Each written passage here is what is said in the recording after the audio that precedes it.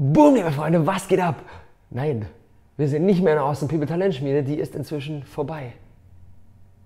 Aber es gibt trotzdem natürlich weiterhin Videos. Und zwar jetzt über den Sommer wo keine Talentschmiede abgehen wird. Im September starten wir wieder und am Samstag, am 16. Juni schon mit dem Crowdfunding, deswegen da alle am Start sein, da wir was richtig Geiles auf die Beine stellen. Aber über den Sommer, bis die Talentschmiede-Videos auch beginnen, werden wir hier auf diesem YouTube-Kanal natürlich wieder ordentlich abgehen in Sachen Content-Videos und werden wieder das Pensum aufnehmen, was wir vor der Talentschmiede auch schon am Start hatten, Anfang des Jahres.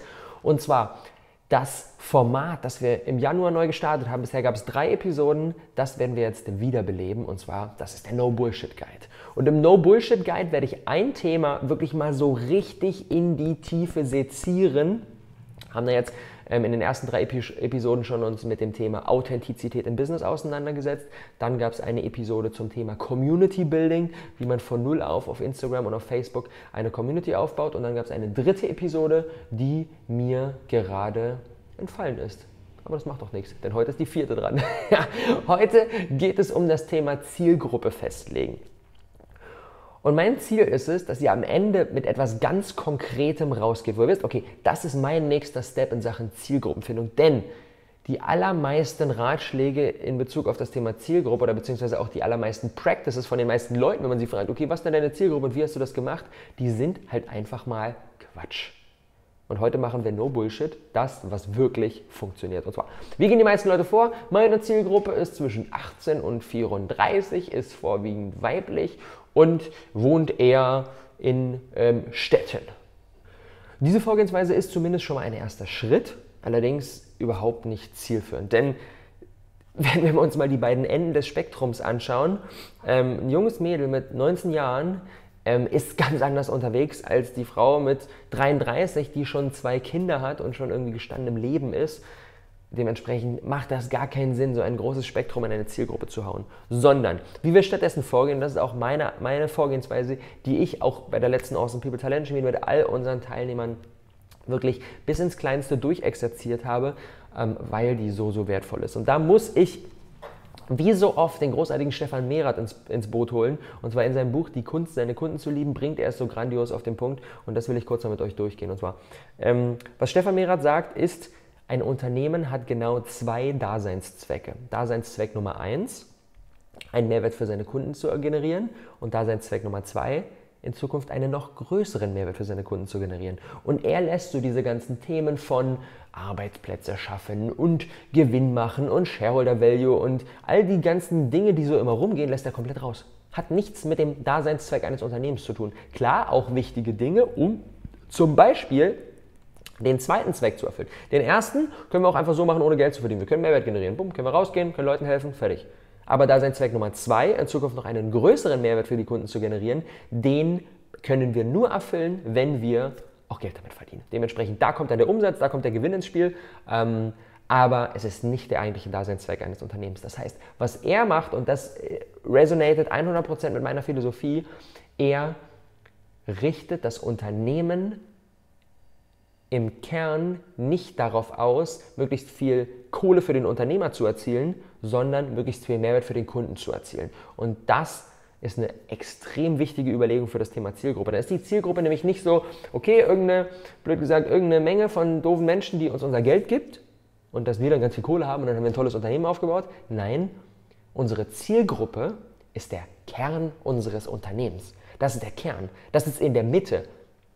Das ist das Wichtigste. Denn wenn wir das haben und wenn wir das gut am Start haben und mit denen in Kontakt sind, dann können wir darum herum ganz viele Dinge aufbauen, dann können wir einen riesen Mehrwert für, den, für die generieren, in Zukunft den Mehrwert sogar noch weiter vergrößern und dann haben wir ein tolles, erfolgreiches Unternehmen aufgebaut. Und jetzt natürlich die spannende Frage, wie schaffen wir es, genau diesen Mehrwert zu generieren und den auch in Zukunft noch zu vergrößern? Und zwar mit den richtigen Emotionen. Oder sagt jetzt vielleicht der eine oder andere so, Emotionen, hä? Ich muss da einfach nur konkret irgendwelche Dinge machen, so, Emotionen, hm? Emotionen sind mega wichtig. Lass uns mal da tief reingehen. Und zwar, was sind denn so die typischen ähm, vorherrschenden Emotionen, die bei Unternehmern immer wieder am Start sind? Am allertypischsten Angst. Shit, mein Business läuft noch nicht so, wie ich es mir vorgestellt habe. Oh, ich muss am Ende des Monats meine Miete ähm, bezahlen und oh, mein Kühlschrank will natürlich auch irgendwie gefüllt werden und wer weiß, ob da genügend Geld reinkommt, ob genügend Aufträge kommen, ob ich genügend Kunden habe, ob die genügend bezahlen, ob die schnell genug bezahlen. Dann sind wir total in der Emotion Angst drin. Und wenn wir in der Emotion Angst drin sind, dann sind unser Bewusstsein und unser Unterbewusstsein in zwei unterschiedliche Richtungen unterwegs. Das heißt, wir schaffen es nicht, unser gesamtes Potenzial auf unser Ziel auszurichten. Was meine ich damit? Unser Bewusstsein sagt dann, ja klar, Rob hat in dem Video gesagt und Stefan in dem Buch und so weiter, ähm, einen Mehrwert für die Kunden generieren. Das ist das Hauptziel. Okay, Bewusstsein rennt hier lang. Mehrwert für die Kunden. Problem ist nur, unser Unterbewusstsein sagt, na, warte mal, Mehrwert für die Kunden generieren ist ja schön und gut, aber eigentlich hast du einen heiden Schiss, dass du am Ende des Monats nicht deine Miete bezahlen willst, verdien mal erstmal erst Geld. Das ist erstmal wichtiger. Das heißt, Unterbewusstsein dort lang. Bewusstsein, Mehrwert für die Kunden generieren, Unterbewusstsein, na, lieber erstmal Geld verdienen. Das heißt, wir sind in zwei unterschiedliche Richtungen unterwegs und schaffen es nicht, unser gesamtes Potenzial zu bündeln. Dementsprechend haben wir auch nicht die volle Kraft, die wir brauchen, um ein erfolgreiches Unternehmen aufzubauen. Und jemand anderes, der es schafft, diese beiden Kräfte zu bündeln, wird uns immer den Rang ablaufen. Weil wir eben nicht, weil wir innerlich zerrissen sind, weil wir nicht es schaffen, all unsere Kraft auf einen Punkt auszurichten. Das heißt, Emotion Angst scheidet aus, funktioniert langfristig nicht. Was gibt es noch für typische Emotionen, die ein Unternehmer so am Start haben könnte? Emotionen Gier. Ich will möglichst viel Geld verdienen, damit ich mich ganz besonders fühle, damit ich meine ganzen Glaubenssätze aus der Kindheit, weil ich gemobbt wurde und was weiß ich, damit ich es denen zeigen kann, damit ich sagen kann, so bam, hier, krass Millionenbusiness aufgebaut, damit ich vor meinem Porsche posen kann und so weiter. Das ist, würde ich mal so sagen, so die typische, die typische Emotion, die einem im Internet immer wieder so an den Start gebracht wird. Funktioniert ebenfalls nicht. Hier auch hier wieder Bewusstsein sagt, ja, Rob hat im Video gesagt, Mehrwert für die Kunden generieren. Bewusstsein hier lang. Unterbewusstsein, na, warte mal, Mehrwert ist ja schön und gut, aber eigentlich willst du ja dir den neuen Lambo kaufen, deswegen gehen wir mal lieber da lang, ganz viel Geld ist viel wichtiger.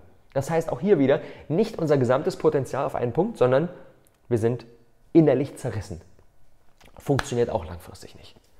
Entgegen dem, was einem die ganzen Online-Marketer in den ganzen Facebook-Ads erzählen wollen, das funktioniert langfristig nicht. Das funktioniert vielleicht mal kurzfristig, wenn wir ein bisschen smart sind, ein bisschen Glück haben und so weiter, aber langfristig funktioniert das nicht, auf diese Art und Weise ein erfolgreiches Unternehmen aufzubauen. Was ist also die einzige Emotion, die für einen Unternehmer wirklich Sinn ergibt? Liebe. Liebe zu seinen Kunden. Und das klingt jetzt vielleicht erstmal ein bisschen extrem. Liebe, uff, krasses Wort. Aber lass mal das durchdenken. Warum ist Liebe die einzige Emotion, die funktioniert? Wenn wir einen Menschen lieben, stell dir an dieser Stelle gerne mal einen Menschen vor, den du liebst. Entweder dein Kind oder deinen Partner oder deine Eltern oder deinen Bruder oder irgendjemanden, der dir richtig am Herzen liegt. Dein Bewusstsein sagt, ja natürlich, ich will, dass der Person gut geht. Ich helfe dir, ich sorge dafür, dass es der gut geht. Ich bin für die da, wenn die mich braucht, sagt das Bewusstsein. Vom Kopf her, natürlich, klar, wir lieben den ja. Ganz klar. Unser Unterbewusstsein, ja klar, wir lieben den Menschen, natürlich, wir wollen, dass dem gut geht. Wir sind für den da, wir helfen dem wenn er was braucht.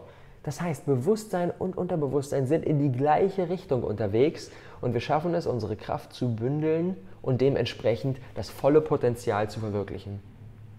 Das funktioniert nur mit der Emotion Liebe. Das heißt, Angst ist Bullshit. Gier ist Bullshit. Liebe ist die einzige Emotion, die wirklich funktioniert, um langfristig ein erfolgreiches Unternehmen aufzubauen. Und jetzt natürlich die spannende Frage, jetzt soll ich also meine Kunden lieben. Aber die sind ätzend. Wie soll ich denn die lieben? Die nerven mich. Die bezahlen immer viel zu spät und fragen immer ganz viel nach und wollen immer ganz viel gratis on top haben und schreiben dann immer blöde E-Mails und verschwenden meine Zeit und so weiter. Wie soll ich denn die Kunden lieben? Hm. Kannst du nicht. Du hast die falschen Kunden.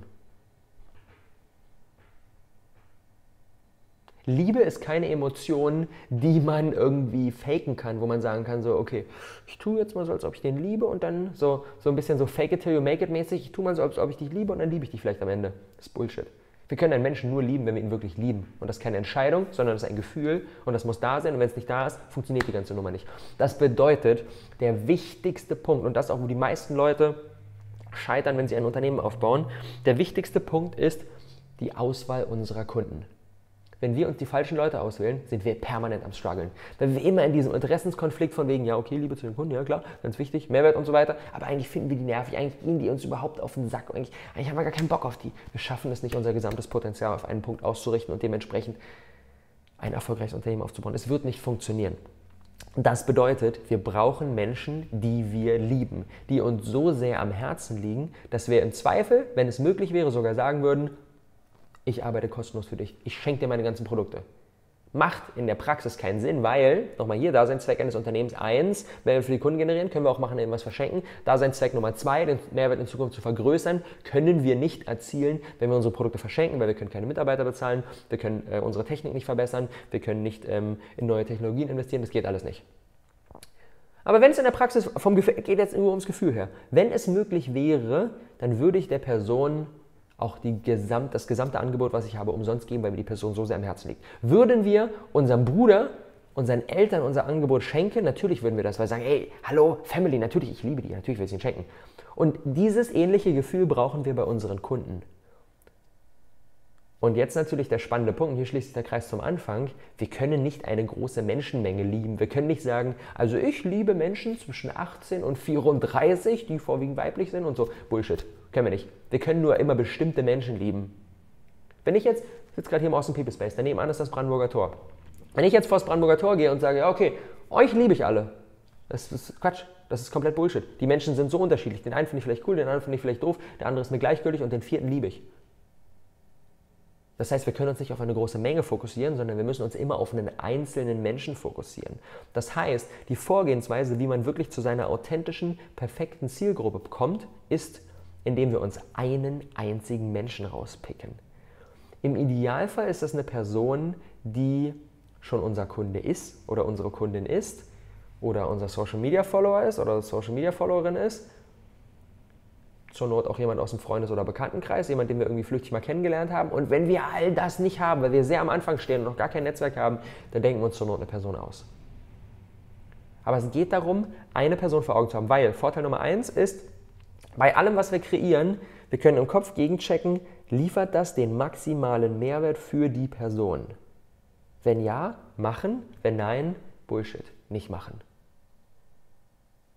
Das ist das Mindset, mit dem ich unterwegs bin, wenn ich Content kreiere. Zum Beispiel, lass mal ganz konkret machen. Wer ist unser Lieblingskunde? Unser Lieblingskunde ist Gary. Gary hat ein wunderschönes Klamottenlabel ins Leben gerufen, das heißt Stronken. Ich trage jeden Tag diese Caps, weil ich sie erstens vom Design her feiere, aber noch viel, viel mehr, weil ich Gary als Person feiere. Weil Gary unser Lieblingskunde ist. Gary hat ein mega geiles, offenes Mindset, will sich kontinuierlich weiterentwickeln, hat eine Business-Idee, die sehr, sehr kreativ ist, die hat den permanenten Fokus darauf, etwas für seine Leute zu erschaffen, macht das nicht, weil er damit Geld verdienen will, sondern einfach, weil er seine Kunst, weil er seine Kreativität, weil er seine Design, Designmöglichkeiten, weil er seine Designfähigkeiten ausleben will und damit etwas Gutes tun will für die Welt. Spendet von jedem, von jedem verkauften Kleidungsstück, äh, von jedem verkauften Cap, Hoodie und so weiter, spendet er was. Ähm, und alles ist mit richtig geilen, ähm, fair produzierten Rohstoffen hergestellt Außerdem ist Gary als Typ geil und ich würde den ganzen Tag mit ihm irgendwie rumchillen und über Gott und die Welt quatschen. Das heißt, Gary ist unser Lieblingskunde. Ich feiere den. Ich feiere den mega. Und was ich jetzt immer mache, wenn ich ein Video kreiere, zum Beispiel auch dieses, ich kenne Gary mittlerweile und ich weiß, er ist zielgruppentechnisch ganz gut unterwegs, aber noch nicht so ganz komplett on point. Das heißt, ich mache dieses Video natürlich für euch alle, aber vorwiegend auch für Gary. Im Kopf ist mir bewusst, ah, okay, ist der Gary, was braucht er, was muss ich dem wie erklären, was kann ich auch voraussetzen und bam, dann mache ich so das Video. Und das ist mein Mindset, wenn ich neue Projekte realisiere. Zum Beispiel bei der ersten Tal Awesome People Talent Spiele. Bevor ich das Konzept announced habe, schreibe ich Gary eine Nachricht, yo Gary, ich habe eine Idee für ein geiles Projekt, hast du mal kurz Zeit zu skypen? Und er so, yo, lass machen, morgen Abend, ja, passt. Sitzen wir zusammen, eine halbe Stunde im Skype, ich erzähle ihm alles, was ich vorhabe und er feedbackt mir. Sagt so, ah, das habe ich nicht verstanden. Und dann weiß ich, ah, da muss ich in der Kommunikation nochmal besser werden. Dann sagt er, boah, das feiere ich mega. Und dann weiß ich, okay, das muss ich richtig groß als Benefit rausstreichen. Dann sagt er, okay, nee, das ist eigentlich, das bräuchte ich jetzt nicht. Dann weiß ich, okay, da kann ich entweder nicht so den Fokus drauf richten oder kann es eventuell sogar weglassen. Das heißt, ich hole mir wirklich ein Feedback, ein, ein echtes, Real-World-Feedback von meinem Lieblingskunden ein, weil, und jetzt ist nämlich der spannende Punkt, wenn ich das tue, sorge ich dafür, dass langfristig noch viel, viel mehr Garys unsere Kunden werden. Und das ist doch die perfekte Welt.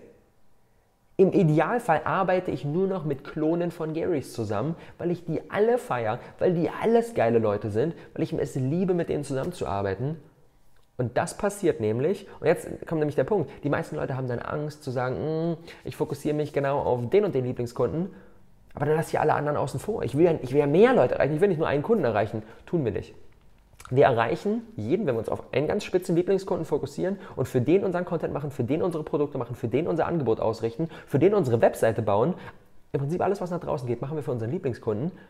Aber, und das ist das Spannende, auch Leute, die 90% Deckungsgleichheit mit unserem Lieblingskunden haben, fühlen sich angesprochen. Auch Leute, die 80% Deckungsgleichheit mit unserem Lieblingskunden haben, fühlen sich angesprochen. Auch Leute, die 70% Deckungsgleichheit mit unserem Kunden, äh, Lieblingskunden haben, fühlen sich angesprochen. Auch Leute, die 60% Deckungsgleichheit mit unserem Lieblingskunden haben, fühlen sich angesprochen.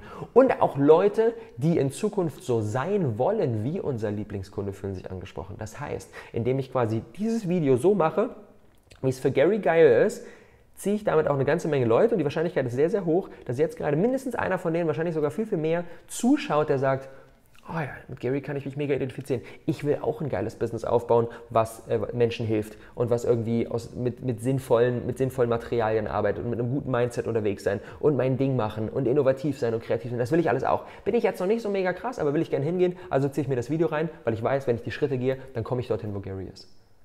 Und das ist nämlich der Punkt. Wir fokussieren uns auf einen Menschen und ziehen aber ganz viele weitere an, die entweder sehr, sehr ähnlich sind wie Gary oder so werden wollen wie Gary. Und genau all das sind die Menschen, die ich feiere und mit denen arbeite ich gerne zusammen. Und dann sage ich, okay, dann liebe ich auch den Paul und dann liebe ich die Marie und dann liebe ich die Susanne und dann liebe ich auch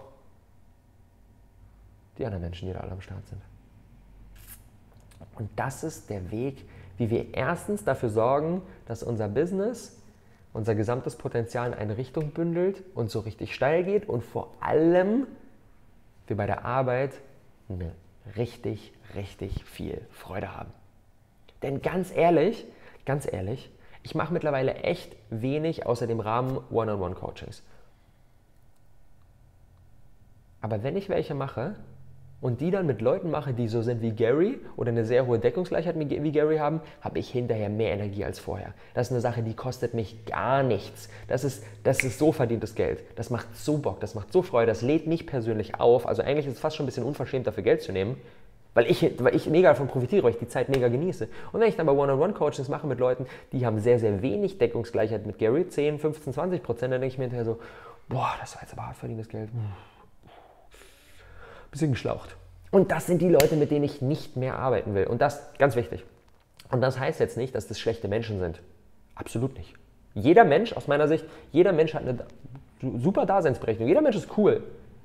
Die sind einfach nur woanders besser aufgehoben. Ich sage, ich will mit Leuten arbeiten, die wie Gary sind. Und jemand anderes sagt vielleicht, okay, ich will mit Leuten arbeiten, die wie Peter sind. Und fokussiert sich auf die und sagt so, Gary habe ich gar keinen Bock, ist mir viel zu flippig. Ist, ey, was ist das für ein komischer, komischer Kauz? Hm, nee, ist nichts für mich. Ich will Leute wie Peter. Fokussiert sich auf die und Peter ist dort viel besser aufgehoben. Das bedeutet, wenn jedes Unternehmen so vorgeht, dann gibt es auch für jeden Konsumenten einen Platz und alle sind happy. Und deswegen pushe ich diese Message so radikal nach draußen, weil ich weiß erstens, wie verändernd das für ein Unternehmen sein kann, wie verändernd das für das Commitment zur Arbeit des Unternehmers sein kann und vor allem auch, wie verändernd es sein kann für die gesamte Gesellschaft, weil es dann mit auf einmal für jeden Kunden einen Platz gibt und ja, jeder dort gewertschätzt wird, wo er gerade ist und vor allem für das, wie er ist. Als ich diese Übung damals beim Rohkost einmal eins zum allerersten Mal gemacht habe, bin ich sogar so weit dahergegangen. Ich bin nicht sicher, ich glaube, unsere Lieblingskundin, wie hieß sie? Hieß sie Marie? Ich weiß es nicht mehr, ich kann es nicht mehr genau sagen, schon ein paar Jahre her. Ähm, aber da sind wir sogar so weit gegangen, dass wir für, sagen wir jetzt einfach mal, sie heißt Marie, ein Facebook-Profil angelegt haben. Und bei Google Bilder nach einem Bild gesucht, was in unserer Vorstellung so aussieht, wie Marie aussehen würde, haben das hinzugefügt, haben ihr Namen gegeben, mir auch einen Nachnamen gegeben, ich weiß nicht mehr, wie der war, und haben dann angefangen, als Maries Profil Seiten zu liken, die Marie gut finden würde. Wir haben uns direkt in die Situation reinversetzt, okay, Marie, ist die, wonach ist die auf der Suche, was braucht die? Liken dann die ganzen Seiten, auf die Marie Bock hat und dann weiß ich sofort, mit wem ich kooperieren muss, wo ich am Start sein muss, um Marie eben genau abzuholen, um ganz viele andere Leute auch abzuholen, die genauso ticken wie Marie. Und das klingt jetzt vielleicht ein bisschen crazy, aber ist enorm wertvoll und bringt eine Menge Klarheit, weil wir dann nämlich auch genau wissen, dann stellen wir uns mal vor, okay, wie ist der normaler Tagesablauf von Marie? Wie ist die am Start? Hängt die den ganzen Tag auf Instagram?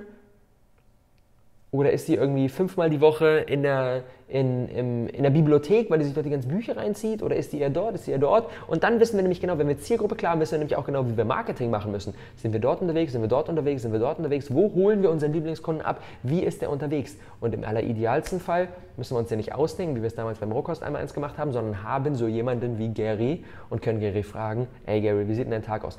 Ich habe sogar schon mal drüber nachgedacht,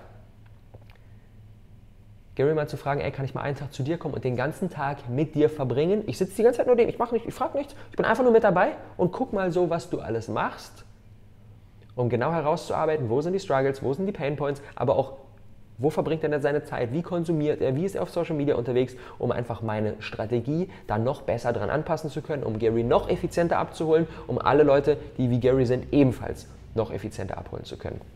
Das heißt, je konkreter wir diese Übung machen, desto besser ist sie. Das heißt, fragt euch wirklich aus eurem bisherigen Kundenkreis, aus unseren Followern, äh, aus euren Followern, ähm, Freunden, Bekannten und so weiter, wer ist eine Person, die euch so sehr am Herzen liegt, dass ihr sagt, boah, Alter, die feiere ich mega. Wenn ich nur noch solche Kunden hätte, wäre ich der glücklichste Mensch der Welt. Und klar, natürlich, da muss jetzt nicht alles dran perfekt sein. So. Ja, keine Ahnung, okay. 80% Lieblingskunde, okay, dann nehmen wir den mal als Arbeitsziel, okay, in die Richtung, kann sich auch noch entwickeln. Alles völlig okay, aber ist ein sehr, sehr geiler Startpunkt, um damit erstmal loszulegen. Jetzt sind wir ein Stück weit in der Situation, dass Gary mittlerweile sich echt gut entwickelt hat und dass sein Business sich ziemlich, ziemlich gut abgegangen ist und auf Social Media ziemlich gut unterwegs ist und echt geile Produkte und einen guten Draht zu seiner Community hat und dementsprechend für ein paar unserer Angebote ähm, fast ein Stückchen zu weit ist. Und das ist ein spannender Punkt, der nach, ja, nach ein, zwei, drei Jahren gerne mal einsetzt. Gary war ähm, bei unseren ersten Awesome People Days in Frankfurt, war er als Kunde und da war er an dem Punkt, dass er gesagt hat, okay, ein bisschen Geld kommt rein, ab und zu mal ein paar Sales, aber eigentlich läuft das Ganze noch nicht so rund. Dann sind wir da ordentlich reingegangen, haben eine Menge gemacht, dann war er danach bei der Awesome People Conference dabei und so weiter und so fort und verfolgt den ganzen Online-Content, hustelt natürlich weiter und ist jetzt an dem Punkt, dass das Ding echt gut läuft. Und dass solche Themen wie, wie positioniere ich mich effizient und ähm, wie finde ich genau meinen Kern heraus und wie stecke ich den in meine Marke und wie baue ich eine Community auf, diese ganzen Themen, die hat er mittlerweile echt gut gemeistert und die braucht er gar nicht mehr so sehr. Heißt das, ich mache jetzt nur noch Content für Gary, wie er jetzt ist? Nicht unbedingt. Zwei Möglichkeiten. Entweder, was ich mittlerweile sehr, sehr stark mache, dadurch, dass jetzt Gary auch ein bisschen zu weit ist, um die Zielgruppe zu sein, einer unserer äh, äh Teilnehmer zu sein für die zweite Talentschmiede, weil wir da Leute suchen, die so zwischen 0 Euro, aber Idee da, bis hin zu, kommt ein bisschen Geld rein, aber es läuft noch nicht so ganz perfekt, wie ich es mir vorstelle, sind. Und bei Gary ist natürlich auch alles noch nicht perfekt, aber das läuft. Das läuft eigentlich ganz gut und deswegen würde ich sagen, ist ein Ticken zu weit für die Talentspiele. Das heißt, fokussiere ich den Content, den wir in die Richtung machen und wir das Projekt gebaut haben, gar nicht so sehr auf Garys aktuellen Stand, sondern fokussiere mich eher auf seine Persönlichkeit und wie man kommuniziert und wie man Marketing macht, um Garys abzuholen, die vielleicht 50% des Weges von Gary aktuell geschafft haben. Und da checke ich natürlich trotzdem mit ihm gegen, hole mir dann Feedback, aber weiß auch, dass er nicht mehr die ganz 1 zu 1 Zielgruppe für dieses Projekt ist, kann trotzdem noch sehr, sehr viele wertvolle Dinge rausziehen, merke aber auch, das ist vielleicht an der Zeit, ist vielleicht noch einen zweiten und vielleicht noch einen dritten Lieblingskunden sogar dazu holen. Vielleicht einen, der noch ein bisschen weiter am Anfang steht, wo ich sage, okay, auf den fokussiere ich mich ganz besonders und Gary ist auch immer noch extrem wertvoll, spielt dafür mit rein. Ähm, aber Langfristig, generell ist es ja eh das Ziel eines Unternehmens für unseren Lieblingskunden, eine möglichst lange Wertschöpfungskette zu haben. Das bedeutet, wir holen den ab bei, er hat keinen Schimmer von gar nichts und leiten den hinzu, er hat ein mega krasses Millionenbusiness aufgebaut. Im Idealfall kreieren wir so viele Angebote für unseren Lieblingskunden, wirklich von, okay, was ist eigentlich mein Thema, was ist meine Leidenschaft, bis hin zu, okay, riesenkrasse Mastermind mit irgendwie fünf Top-Leuten und ans andere Ende der Welt fliegen und eine ganze Woche persönliche Betreuung und das dann mega hochpreisen kostet dann 25.000 Euro. Das soll eigentlich eine Wertschöpfungskette sein und die bauen wir natürlich langfristig auf. Mit der kann man nicht starten und da haben wir natürlich auch eine, nicht die jetzige Expertise. Das heißt, Gary wächst und ich wachse und dementsprechend kann man da sehr, sehr lange auch zusammenarbeiten. Aber wenn wir in die Situation kommen, dass wir merken, unser Lieblingskunde ist jetzt ein Stück zu weit, ich kann ihm gar nicht mehr so gut helfen, dann ist es vielleicht auch an der Zeit, da vielleicht noch einen zweiten dazu zu holen und vielleicht auch noch einen dritten dazu zu holen. Das ist der Prozess. Erstens bewusst machen, dass die Daseinsberechtigung eines Unternehmens darin besteht, einen Mehrwert für die Kunden zu generieren und diesen Mehrwert in Zukunft zu vergrößern. Sich bewusst machen, dass die einzige Emotion, die wirklich Sinn ergibt, Liebe ist. Und auch hier nochmal ganz wichtig, will ich mal kurz darauf eingehen wenn wir, jetzt sagt vielleicht einer, okay, ich spüre aber gerade die Emotion Angst, weil ich habe nicht genügend Kohle, wie soll ich denn jetzt Liebe spüren? Das Schöne ist, Liebe und Angst können nicht gleichzeitig da sein. Das heißt, jedes Mal, wenn ich in einer Situation bin, wo ich merke, boah, fuck man, oh, wer weiß, ob das mit der Kohle reicht, wer weiß, ob das funktioniert, ah, ob ich überhaupt auf dem richtigen Weg bin, gehe ich in die Liebe und fokussiere mich darauf, für wen ich das mache. Fokussiere mich auf Gary, fokussiere mich auf all die anderen Leute aus der Community, die sehr große Deckungsgleichheit mit Gary haben und weiß, okay, eigentlich mache ich das für die. Und wenn ich dann voll in der Liebe bin und mir die bewusst mache und deren Situation bewusst mache und mir bewusst mache, wie gut ich dabei helfen kann und wie sehr ich deren Leben verändern kann, dann wird die Angst automatisch schwächer. Und das heißt, es ist einfach nur eine Sache des Fokus. Es geht nicht darum, die Angst zu bekämpfen und zu sagen, okay, die muss jetzt weggehen, sondern sich auf die Liebe zu fokussieren und dann wird die Angst automatisch schwächer. Und das ist der wichtige Punkt. Und es ist dann ganz, ganz wichtig, bitte, bitte, bitte, mach das konkret. Sag nicht, oh, okay, cool, habe ich verstanden, nächste Podcast-Episode, nächstes YouTube-Video weiterklicken, sondern setzt das wirklich um. Sucht euch eine Person aus eurem Kunden, Follower, Bekannten, Freundeskreis, wo ihr sagt, boah, die feiere ich, macht das ganz konkret und dann im nächsten Schritt setzt euch mit der zusammen. Holt euch von der Feedback. Ich habe zum Beispiel, habe ich gesagt, vor der ersten Talentschmiede habe ich mir von Gary Feedback geholt, jetzt ähm, vor der zweiten Talentschmiede, vor zwei Wochen oder sowas, habe ich ähm, einen Facebook-Chat erstellt mit so, ich glaube, schon 17, 18 Leute, die so eine Mischung waren aus Leuten, die beim Casting von der ersten Talentschmiede mega gut abgegangen sind, aber letztendlich nicht einer der Teilnehmer geworden sind. Ähm, zweitens ähm, unseren, mit, äh, unseren, unseren fleißigsten Mastermind-Teilnehmern mit dem Premium-Pass und drittens noch so ein paar weitere Lieblingskunden, die ich für die nächste Talentschmiede, wo ich sage, okay, die feiere ich, die würde ich mega gerne supporten. Und dieses Mischmasch aus so 17, 18 Leuten habe ich so angehauen, ey Leute, ich habe einige neue Ideen für die zweite Talentschmiede, kann ich euch die mal kurz vorstellen in einem Zoom-Call nächste Woche Dienstag, 19 Uhr, wer hat Zeit und Bock?